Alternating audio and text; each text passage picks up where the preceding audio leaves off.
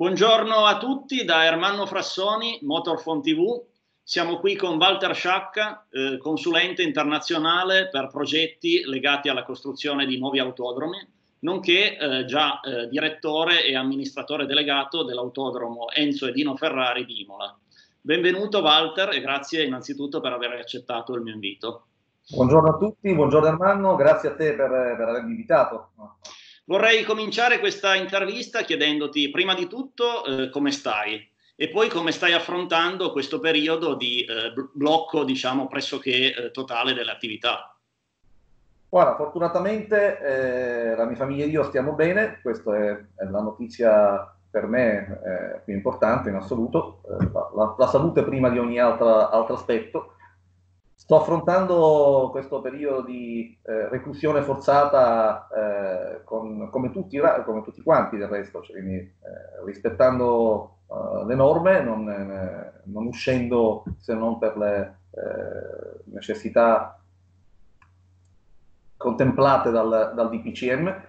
Eh, per quanto riguarda tutto il resto si, si lavora smart working, si, si, si, prova a continuare a lavorare perché insomma, in questo momento è, è, è, un po' difficile tutto. certo, certo. Eh, vorrei chiederti eh, una panoramica, eh, diciamo così, sulla situazione relativa ai progetti eh, dei nuovi circuiti eh, in giro per il mondo, sperando ovviamente che eh, riprendano, perché questa panoramica non può che essere ovviamente pre-Covid. Sì, certamente. Adesso eh, viviamo in un, in un, momento in cui tutto è, direi, eh, congelato, messo in stand-by, cioè, eh, sta, sta, sta, lì in attesa di, di, sviluppi. Eh, sì, procediamo con la panoramica ante-Covid, corretto quello che tu dici, è una, una panoramica molto rosea. Eh, diciamo che a livello internazionale eh, si prevedeva in un arco temporale di 5-10 anni la nascita di circa 120 autodromi nuovi eh, a livello globale. Eh, il dato più significativo arriva proprio dalla Cina, eh, sembra strano ma è così, eh, insomma, eh, la Cina aveva, dico aveva, ma insomma spero che possiamo togliere aveva tra, tra, qualche settimana, se non qualche mese, poter usare un verbo diverso, 75 progetti di autodromi da dover realizzare, o quantomeno 75 idee di progetti di autodromi da dover realizzare in un arco temporale di 5-10 anni. Seguiva l'Australia con ben 15 progetti di autodromi da realizzare, eh, quindi sono dati abbastanza importanti.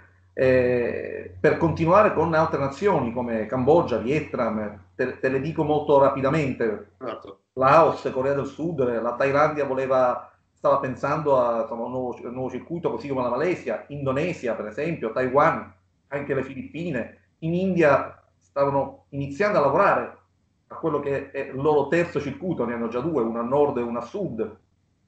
Eh, in Oman, cioè, eh, devo dire, più volte avevano tentato di realizzare un circuito, ma per tutta una serie di ragioni politiche non erano riusciti. Eh, gli Emirati Arabi eh, stanno spingendo per avere un altro circuito ancora, oltre eh, ad Abu Dhabi e Dubai. Eh, anche il Qatar vorrebbe un secondo circuito eh, più confacente alle auto che non con le moto. Un progetto sicuramente degno di dimensione è un progetto che stanno realizzando a Quidia, che si trova esattamente a sud di Riyadh, in Arabia Saudita.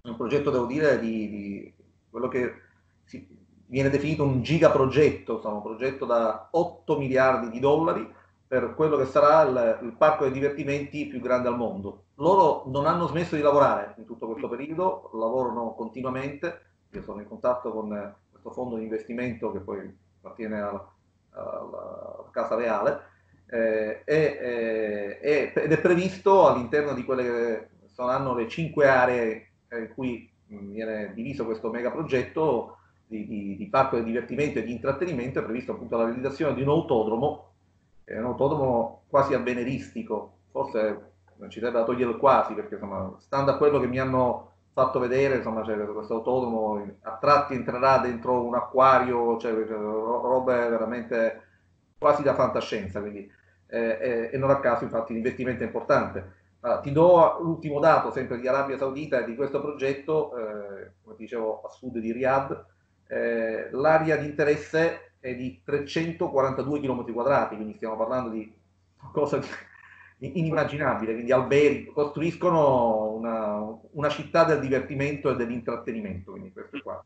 Poi ci sono altri autodromi che potrebbero sorgere eh, in, eh, in, Turchia ci sta già, insomma in Russia si parlava di, di realizzare un nuovo autodromo, eh, in America stanno nascendo piccoli autodromi club, eh, in Canada, in Sud America ci sono dei progetti, ma eh, ancora non si è ben capito questo sembrante virus eh, se i fondi finanzieranno questo tipo di operazioni e, e poi eh, da, da, da, anni si, si, prova a realizzare circuiti in Marocco, Tunisia, Algeria. Eh, vedremo, a questo punto vedremo. Cioè, si era andati vicini a realizzare un circuito proprio in Marocco, che, che non fosse cittadino come quello che attualmente utilizzano per le gare che svolgono. Eh, quindi la panoramica era sicuramente eh, positiva. Io ho girato molte delle nazioni che, di cui ti ho accennato e, e i presupposti erano tutti favorevoli, cioè non c'era, non c'era questa difficoltà. Adesso risentendo eh, i governi, fondi di investimento, insomma, o, o comunque le realtà private eh, che erano interessate alla realizzazione di questi progetti, c'è sicuramente quello che è un raffreddamento. cioè, è, ed è anche normale perché eh, ci sono, a mio avviso, in questo momento in atto due pandemie una è quella che noi tutti conosciamo, è data dal coronavirus, eh, e l'altra è la pandemia economica che ne è venuta fuori. È una pandemia economica inteso da crisi economica, abbiamo la pandemia e la crisi economica. Quindi abbiamo due problemi grossi, uno sanitario e uno economico, da dover fronteggiare. Eh, metterli sulla bilancia è veramente complicato. Infatti. Cioè, questo, questo è la panoramica, però cerchiamo di, di, di guardare con ottimismo, eh, non dico molto in là perché si fa fatica in questo momento a guardare molto lontano perché non, non si hanno certezze da parte dei singoli governi, non è solo una questione nostra nazionale, quindi c'è dire del governo Italia. Eh, credimi, c'è confusione in tanti altri governi, cioè, non, eh, c'è chi apre tutto, ma poi magari sanno loro cosa sta succedendo nella loro nazione, eh, non viene divulgato, eh, eh, chi invece ha misure più o meno similari alle nostre è tutto da vedere. Spesso sento dire che l'Italia è stata presa come modello da seguire, come esempio, ma insomma, io parlando con i miei interlocutori così non mi sembra, però insomma, mm. vedremo. Staremo a vedere. A vedere. Motor, nel motorsport, ma non solo, sei conosciuto come l'uomo dei circuiti. Però vorrei andare un po' a ritroso. Com'è nata la tua passione per i motori? Ah, bellissima domanda. Eh, è nata grazie al fatto che sono terzo di tre fratelli, sono il più piccolo, due fratelli più grandi, di ben 11 e 10 anni più di me.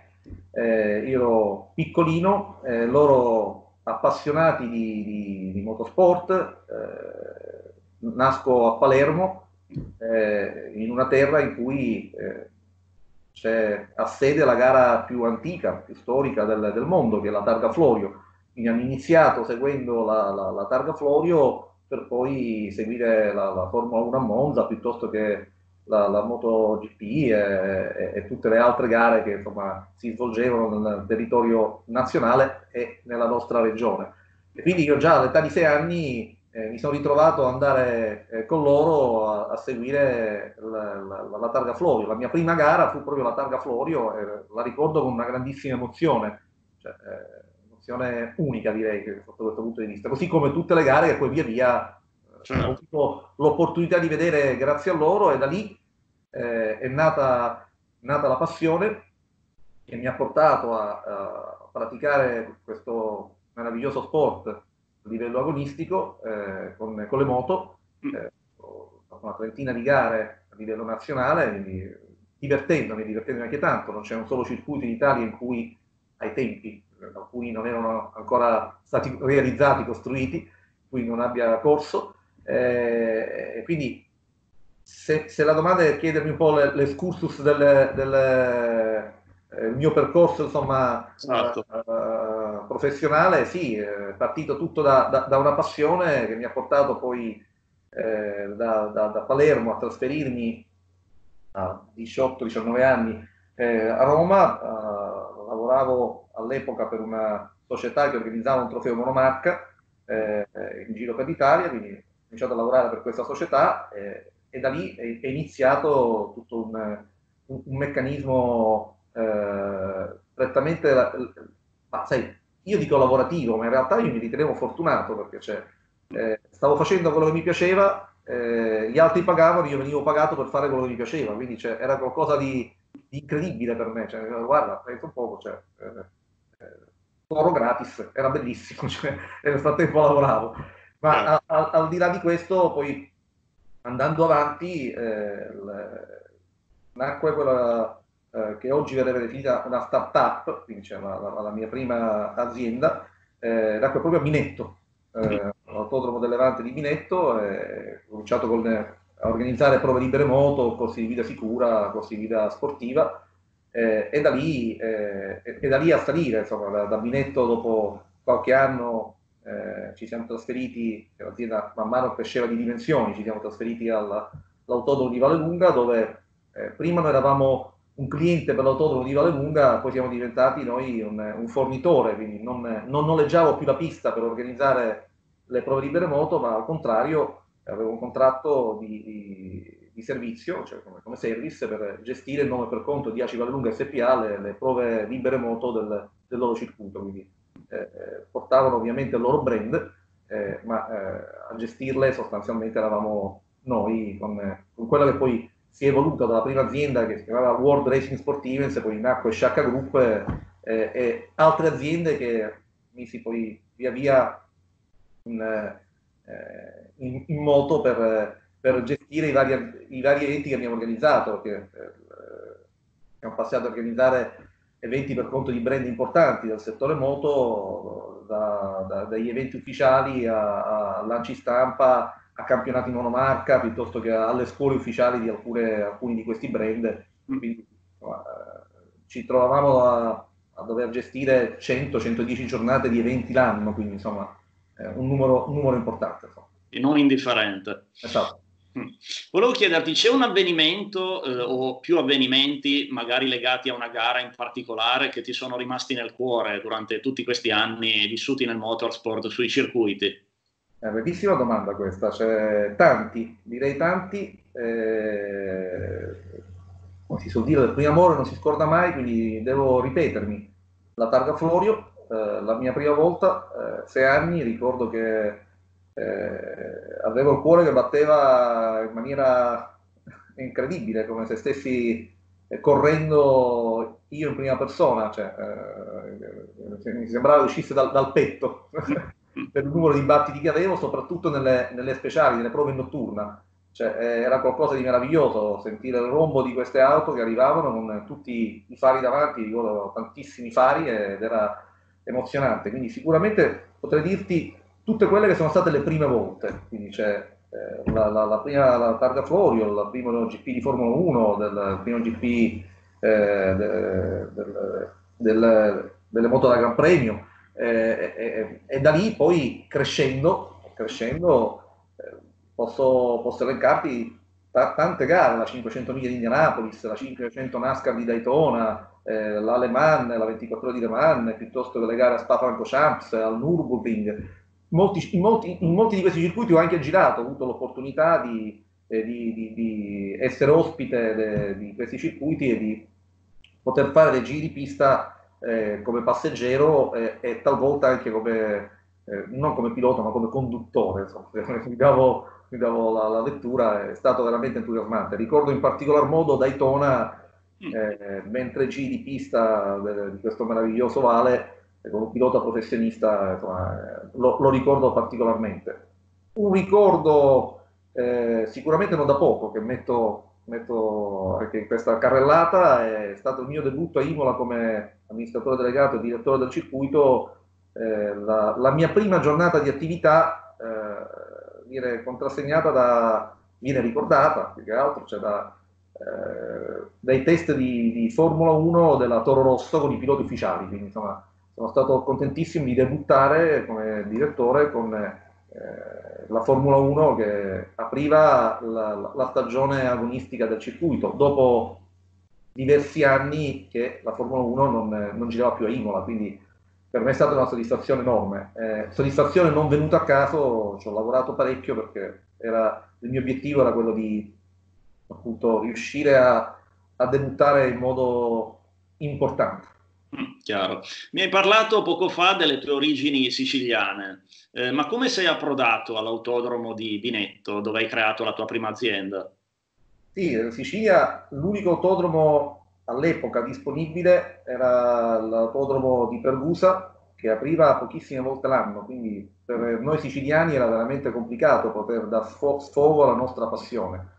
La, la Sicilia, per numero di licenziati, eh, auto, quindi eh, XAI per intenderci, ora, se non erro dovrebbe essere, se non la prima, la seconda regione d'Italia addirittura, perché hanno un numero di gare eh, intese come eh, rally, gare in salita, cronoscalate, eh, importanti. L'autodromo ha lavorato tantissimo fino a un certo periodo eh, e poi mh, no, non più. Non più. Quindi eh, per le moto era, per noi motociclisti appassionati era complicato riuscire a girare. In realtà ancora prima di, di, di Pergusa potrei ricordare l'autodromo di Siracusa che purtroppo è, eh, adesso è, fermo, cioè è ridotto veramente eh, insomma, male, molto male.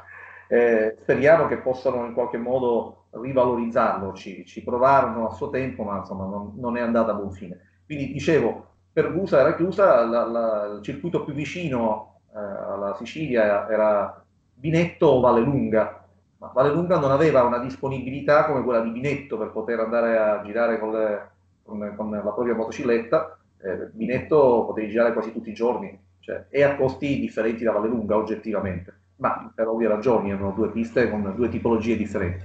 Quindi eh, da lì eh, la frequentazione del circuito eh, mi portò poi dopo una serie di anni, a valutare che poteva essere la, la sede ideale per mettere, la, per, per, costituire la, la, prima azienda, appunto come dicevo, la chiamai World Racing Sport Events. E, e quindi la mica all'interno dell'autodromo del Levante, perché trovavo, uh, a mio avviso, eh, logico che un'azienda che eh, la, la, cui missione eh, principale, obiettivo, è quello di organizzare eventi in pista, dovesse avere una sede in pista, indipendentemente dal fatto che organizzassi in quella pista o meno. Eh, e quindi eh, decisi di, di, di, metterla lì eh, anche per ragioni di, di costi. Eh, era sicuramente più abbordabile rispetto ad altre realtà. e quindi oggi si chiamerebbe startup. Lì nacque la mia, la mia startup eh, che in soli quattro anni mi portò ad arrivare eh, a trasferirmi all'autodromo di, di, di Vallelunga, eh, dove diventando, come ho detto prima, service e eh, ho assunto anche il ruolo di responsabile appunto della divisione 20 moto, abbiamo sviluppato tutto il, il settore moto con le prove libere, con eventi, fino ad arrivare al mondiale Superbike. Non dimentichiamoci che Vallelunga ha ospitato il mondiale Superbike del quale eh, ne sono stato eh, Event Coordinator Manager della, della prima edizione. Mm. Che ricorderai invece de, dell'autora direzione dello storico autodromo di Imola? Eh, ricordi meravigliosi, un periodo molto bello della, della mia vita, eh, sicuramente tanti sacrifici. Eh, ricordo, il primo ricordo che posso dirti è la passione delle persone che collaboravano con l'autodromo di Imola eh, al, al, primo posto mi sento di mettere i commissari di percorso di Imola, una passione smisurata per il loro autodromo e per quello che eh, non era il loro lavoro, ma era la loro missione, la loro passione, la loro voglia di eh, contribuire durante gli eventi. Io ho sempre detto che i commissari di percorso, unitamente a tutto il personale sanitario, che ricordo con eh, grandissima stima e, e, e riconoscenza, eh, sono, e, e, aggiungo, e all'antincendio, mm.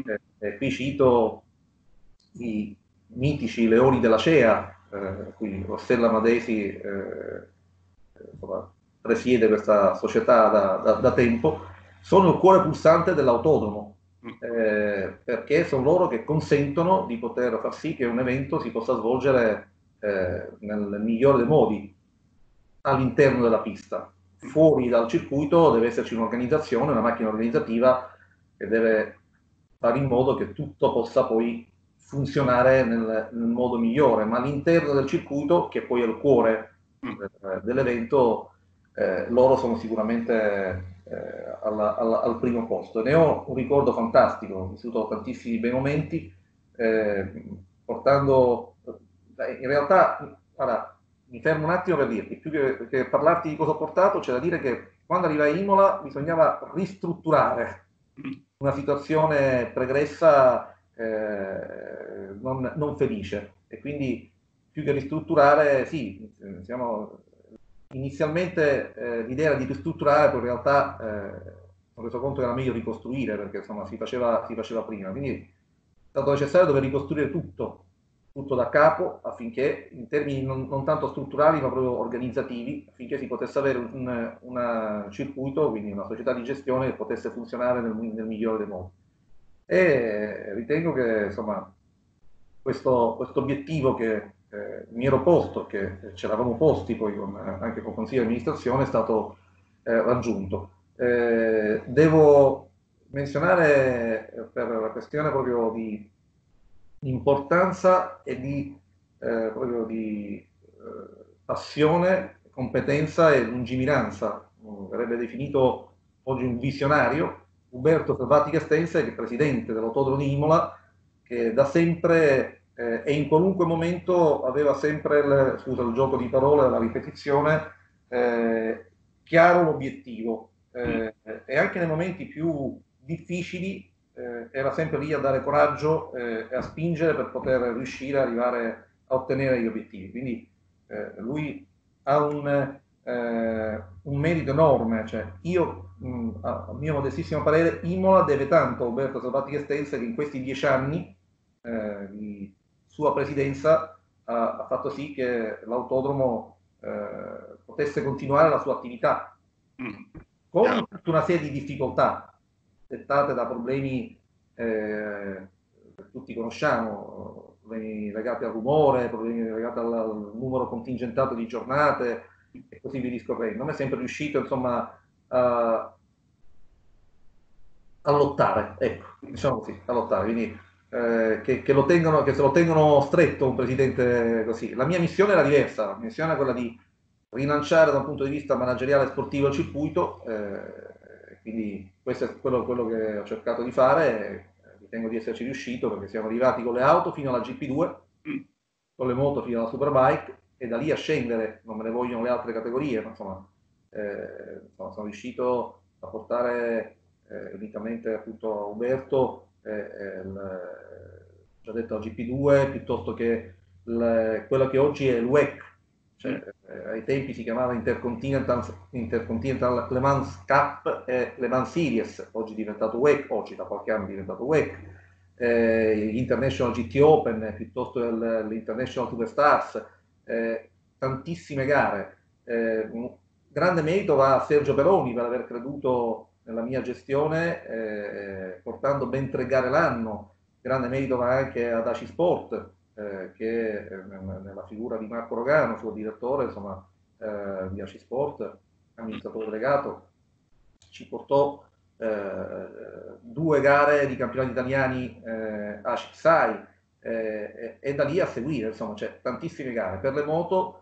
il, il mio ultimo anno di, di, di direzione eh, siglai l'accordo per tre anni di CIV, il campionato moto velocità e di Coppa Italia quindi diciamo che eh, sono riuscito a riportare tutti gli eventi eh, possibili, sia per quanto riguarda le auto che per quanto riguarda le moto, mancava soltanto la Formula 1 e la MotoGP. Provammo anche per la Formula 1 e per la MotoGP, eh, ma eh, c'erano eh, difficoltà di varia natura da dover superare. Eh, hanno detto che questo non possa avvenire nel, nel futuro, insomma, quindi eh, glielo auguro sicuramente all'autodromo di Imola, alla sua gestione, e soprattutto a Umberto, che eh, al presidente Umberto della Dia Estenza, che sta da tempo cercando di riportare la Formula 1 a Imola. Quindi questo per, per dirlo in breve. Quindi, eh, tanto lavoro, ricordo tanto lavoro, potrei citare molte persone, ma finirei per dimenticarne qualcuna. Qualcuno l'ho già citato, ma insomma, citerei anche il dottor Giancarlo Caroli, che ha avuto un ruolo molto importante per il centro medico dell'autodromo, il dottor Claudio Costa, con tutto il personale della clinica mobile, eh, tra i quali c'era un giovanissimo Michele Zasa, oggi a capo della clinica mobile, quindi eh, insomma, ho veramente ricordi meravigliosi e tutto il personale ovviamente di direzione degli uffici che, che mi ha seguito. Non, non, voglio fare un torto a una persona splendida, meravigliosa che è Giorgio Campana, il direttore di gara in, in internazionale e nazionale che eh, ci supportò con eh, la sua preziosa persona per eh, tutte le gare di auto per eh, aiutare a crescere il personale far sì che tutto potesse eh, segue, seguendo tutti gli standard possibili e immaginabili. No, grande soddisfazione, l'esperienza di Imola la conservo come una grande soddisfazione, difficile, veramente difficile perché abbiamo attraversato un periodo certamente non facile, però bella, bella, cioè, molto bella non mi pesava entrare la mattina all'alba e uscire anche alle 2, alle 3 o alle 4 del mattino. Insomma, eh, ricordo addirittura riunioni nel paddock eh, con eh, l'allora responsabile eh, del servizio di, di controllo, eh, Pietro Bertoni, mi ricordo. Eh, ci incontravamo anche alle 2 di notte nel paddock, si facevano riunioni operative alle 2 del mattino o ricordo con molto piacere l'avvocato Giuseppe Girani, che era l'avvocato del dell'autodromo, della società, eh, con il quale iniziavamo le riunioni alle 21 di sera e le finivamo all'una del mattino, per esempio. Quindi, insomma, eh, orari particolari. Certo, c'è da dire che quando io arrivai a Imola, eh, l'organico era composto da tre persone contro le 39 di Monza, no, giusto tanto per dare un paragone. Eh, eppure, dire, siamo riusciti a fare tutto ciò che ti ho detto, incrementando di poche unità la, la, la struttura eh, tanto lavoro, tanta passione e i risultati arrivano. Mm. Lavorando abitualmente eh, a stretto contatto con governi e fondi di investimento, eh, il tuo approccio, diciamo così, cambia in base al contesto in cui ti trovi a operare? Beh, eh, domanda complicata. Eh, sì, allora diciamo che eh, cambia necessariamente perché cambiano le, le, le necessità, cambia l'approccio, cambia la mentalità, cambia la cultura e quindi bisogna talvolta adeguarsi a quello che, eh, che sono le, le, le, modalità. Io in linea di massima cerco sempre di dare le linee guida, poi eh, devi attenerti necessariamente a quelli che sono i protocolli locali. Ora, non, eh, per ragioni ovvie legate ad accordi di riservatezza non citerò né le società o i governi e quindi le nazioni, ma eh, posso insomma, ricordo come in alcune circostanze anche per scrivere una semplice lettera eh, ci volevano tre giorni. Mm. Nel senso io scrivevo la lettera e dicevo ok possiamo inviare questa lettera a questa realtà eh, e prima di tre giorni non veniva deliberata, cioè passava di mano innumerevoli volte per poi magari mi ritornava identica, però erano passati tre giorni, cioè senza correzioni, però insomma questo per dirti, sì, sicuramente dipende, dipende dalla nazione in cui lavori, devi necessariamente adeguarti a, a quello che sono le, i loro usi e costumi. Ecco. A quali progetti stai lavorando in questo periodo? In questo periodo sto lavorando a progetti innovativi. Allora, normalmente io vengo chiamato eh, per sviluppare eh, nuove, nuove, realtà, quindi mi chiamano per dire che vogliamo costruire un nuovo autodromo, talvolta partiamo dall'individuare l'area migliore nella nazione in cui eh, vogliono, desiderano realizzare questa struttura eh, e quindi io mi occupo di tutte le fasi manageriali, gestionali e, e di coordinamento di tutti i professionisti che poi lavoreranno alla realizzazione del, del progetto. Eh, da un anno a questa parte ho deciso di, mh, al di là di portare avanti questa attività, sono ancora oggi consulente di diverse realtà, eh, ho deciso di portare avanti delle mie iniziative personali. Eh, ne ho parlato con eh, alcuni fondi di investimento, i quali hanno dire, ascoltato con attenzione e accolto favorevolmente quelle che sono eh, quali sono state le idee eh, progettuali che avevo loro presentato. Eh, in questo periodo sto lavorando con eh, due architetti, in particolar modo, che mi fa piacere citare, uno è l'architetto Luca Peghini, l'altro l'architetto Sebastian Borzoni. Eh, Luca Peghini si occupa di tutti gli aspetti prettamente architettonici, mentre Sebastian Borzoni si occupa di tutti gli aspetti legati al, al design, rendering e quant'altro. Eh, ho sviluppato, eh, eh, non a caso sto usando in prima persona, normalmente non uso la prima persona, ma in questo caso è una mia idea, un progetto innovativo eh, che potremmo definire di circuito club, eh, con delle caratteristiche molto particolari. Eh, Luca, l'architetto Luca Peghini e Sebastiano Morzoni stanno rappresentando da un punto di vista architettonico quelle che sono le mie idee eh, progettuali eh, e devo dire sono veramente molto molto bravi a rappresentarle nel migliore dei modi, dire, hanno, eh, riescono veramente a eh, vedere ciò che io ho in mente, quindi non è, non è facile. Eh, e quindi sta venendo fuori un ottimo lavoro che credo termineremo da qui a giugno. Eh, in realtà sono cinque progetti che da qui a, a un anno e mezzo più o meno dovrebbero essere terminati, questo che ti sto accennando è uno, poi ce n'è un secondo eh, che potremo uh, considerare più... Uh, alla, eh, faccio fatica perché sono tutti progetti che hanno della riservatezza, quindi non posso in questo momento dire di più. Magari tra qualche mese posso, posso sbilanciarmi dopo che tutte le registrazioni sono state fatte, quindi stiamo tutti più tranquilli sotto questo punto di vista. Eh, diciamo che è un parco, è un parco di divertimenti, un parco di divertimenti totalmente innovativo, non esiste nulla del genere al mondo, ce n'è uno solo eh, piccolo, molto piccolo, in Cina, eh, totalmente diverso da quello che io ho in mente, quindi eh, stiamo lavorando anche sotto questo fronte eh, sulla realizzazione di, di, di questo parco dei...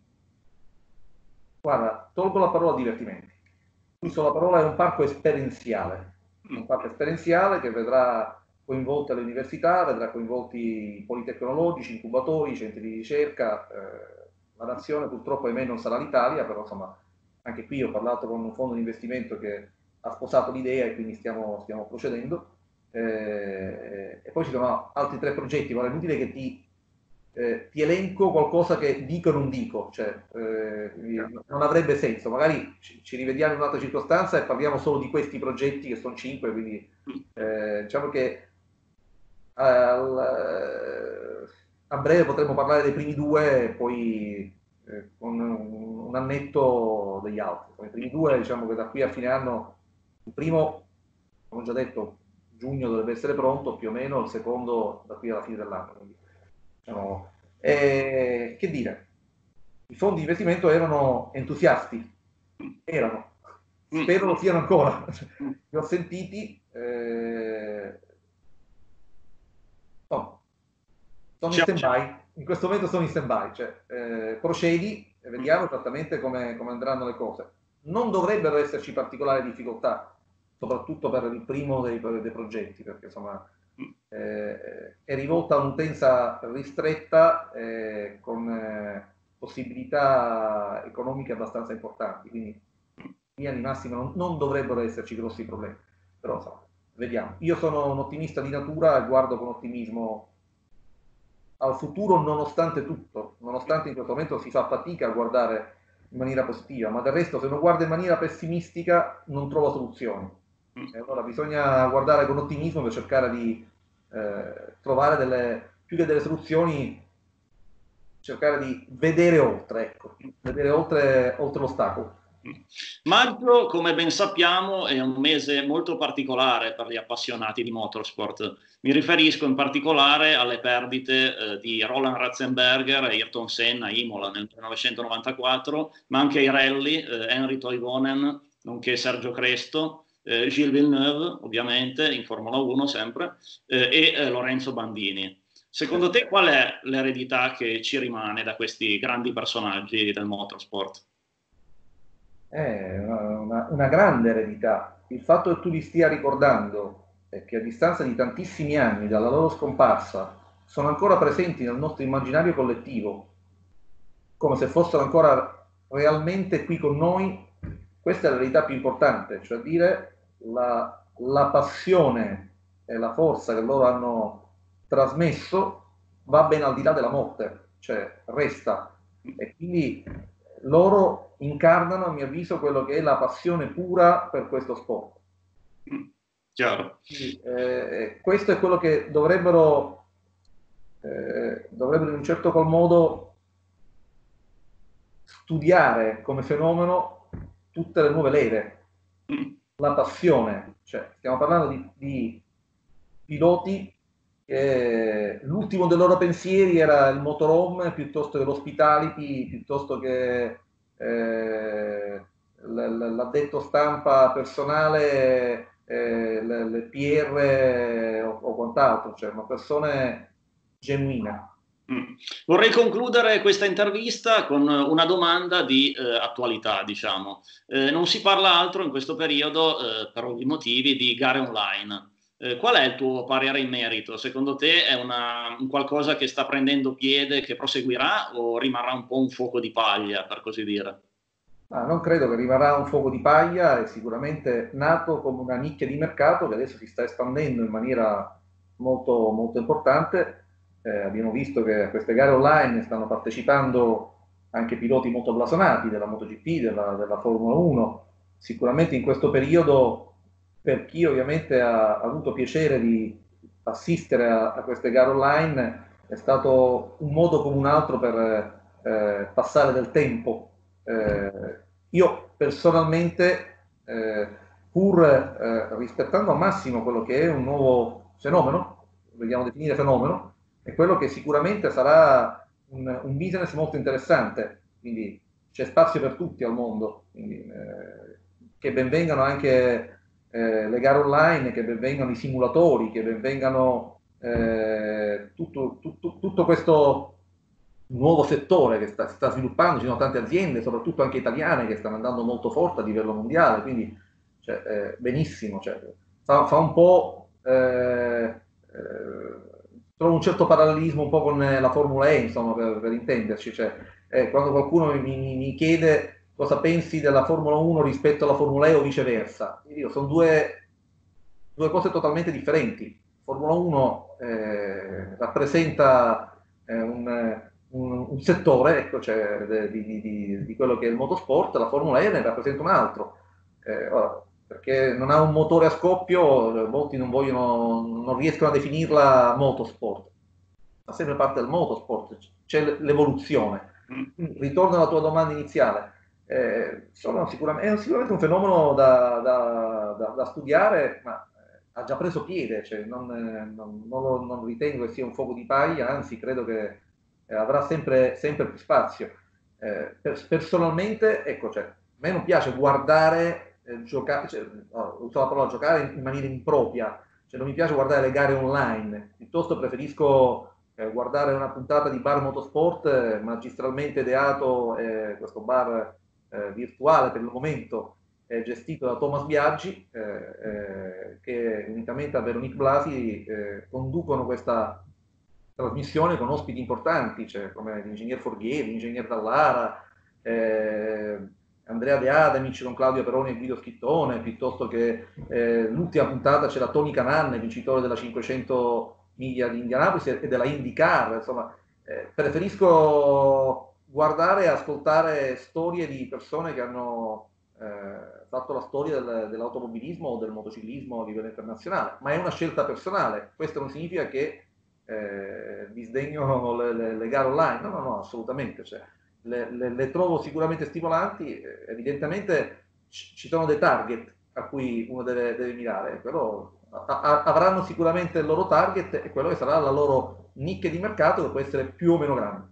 Mm, chiaro. Walter, perfetto, allora ti ringrazio per questa chiacchierata e per la disponibilità e mi auguro potremo vederci il prima possibile su un circuito.